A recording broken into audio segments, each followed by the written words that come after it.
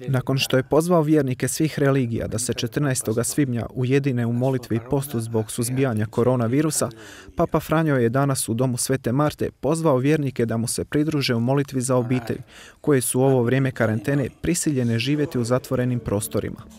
Preporučio im je da se strpljivo bave novim zanimljivim stvarima, pomažući razviti kreativnost djeci i ostalim ukućanima. Upozorio je i na sve češća nasilja u obiteljima, te molio za jedinstvo u obitelji i u crkvi.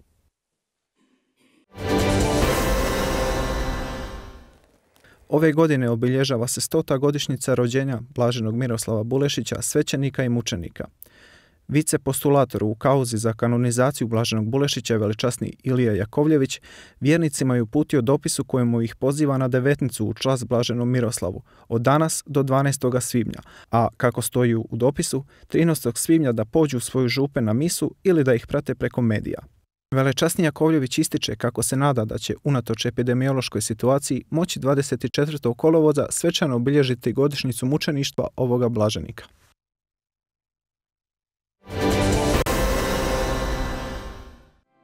Povodom 22. godišnjice smrti ratnog ministra obrane Gojka Šuška slavljena je sveta misa zadošnica u crkvi bezgrešnog začeća Blažene djevice Marije u Zagrebačkoj Dubravi, koju je predslavio monsignor Jure Bogdan.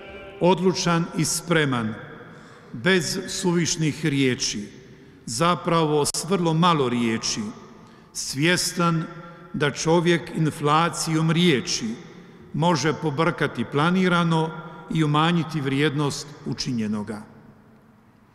Spomen na pokojnoga ministra, prvoga predsjednika i na naše drage poginule branitelje otima zaboravu uzvišena dijela ljubavi prema svojemu domu i rodu, prema svojoj domovini. Trajna je to obveza. Živi smo svjedoci krvlju stečene slobode i neovisnosti. Na svetoj emisiji okupila se rodbina, brojni prijatelji, suradnici i suborci ratnog ministra obrane, ali i predstavnici oružanih snaga i policije te državni dužnosnici.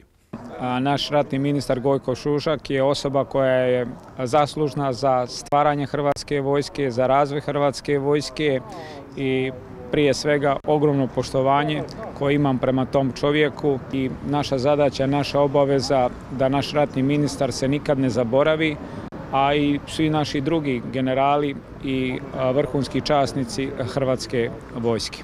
Ministar e, Gojko Šušak je bio jednostavan čovjek, ali bio je veliki domoljub, entuzijast, e, davao je sebe, e, bio je sa svojim vojnicima, sa svojom vojskom, uspješno je ustrojio Hrvatsku vojsku i to se osjeti kroz našu evo i danas to sjećanje i odavanje poštovanja pijeteta prema našem ministru pokojnom Gojku Šušku. Gojko Šušak jedan je od najzaslužnijih osoba za stvaranje Hrvatske vojske, kao i za uspješan završetak domovinskog rata. Njegovo kratko izvješće, gospodine predsjedniče, zadatak je izvršen, postalo je sinonim za sve pobjedničke operacije Hrvatske vojske vođene tijekom oslobodilačkog rata.